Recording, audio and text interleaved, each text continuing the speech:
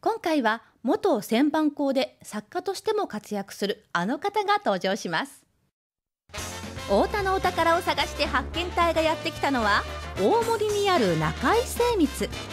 今日はどんなお宝に出会えるかしら？おや？先客がいるようですね。何かの取材中みたいです。すいません、はい、あのこれは何の取材なんですか？このお二人がね中井さんご兄弟が太田の交渉100人に選ばれで私があの本書くためにあの2人に登場していただこうと思ってそれで取材をしてます。そうなんですか。あれ？そういえばこの方どこかで見たことがあるような。あのもしかしてあなた。はい。あの小関と申しますやっぱり小関さん。ということで今回の太田のお宝は大田区在住の作家小関智弘さん。大田区の町工場を舞台にものづくりや職人たちの日常を題材にした著作を多く発表している小関さん。実はご自身も旋盤工として大田区の町工場で50年にわたって働いてきた方なんです。大森に生まれた小関さんは高校卒業後地元の町工場に見習い工として就職。旋盤工としてものづくりの楽しさに気づき以来およそ50年区内の町工場を渡り歩きながらその腕に磨きをかけてきました。初めて町工場入って、えー、鉄を削るってこんなにすごいことなのか面白いことなのかいやすごいことだなと思えたっていうのがずっとそのままこう続いていた持ってたっていうかね持ち続けられただから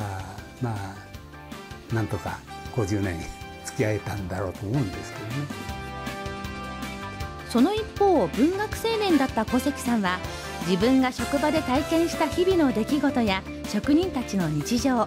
ものづくりにかける情熱を文章に綴り1975年には初の著書となる「粋な旋盤工」を発表。以来次々と作品を発表し小説「サビ色の街」では直木賞候補に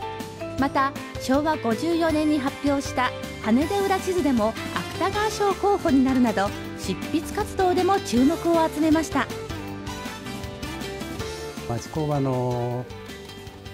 ものづくりっていうのはねほとんどみんなあの部品加工なんですよ。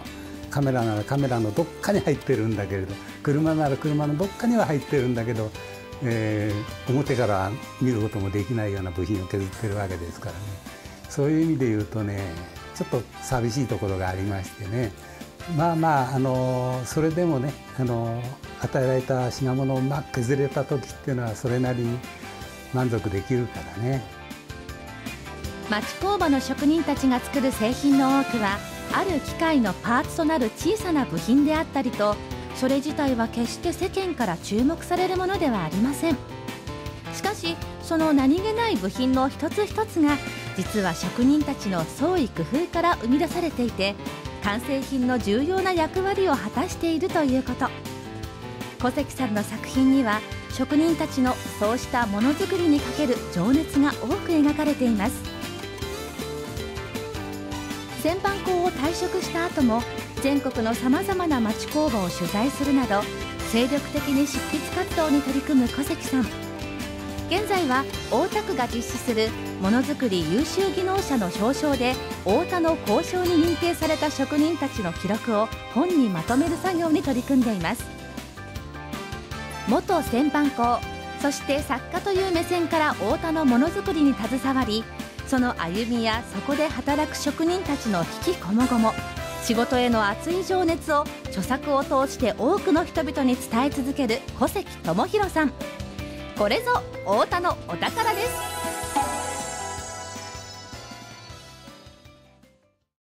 今小関さんが手掛けている太田の交渉を題材にした著書が年内に刊行予定ということです。またこれまでの著書は図書館でも貸し出しを行っているということなのでぜひご覧になってみてください。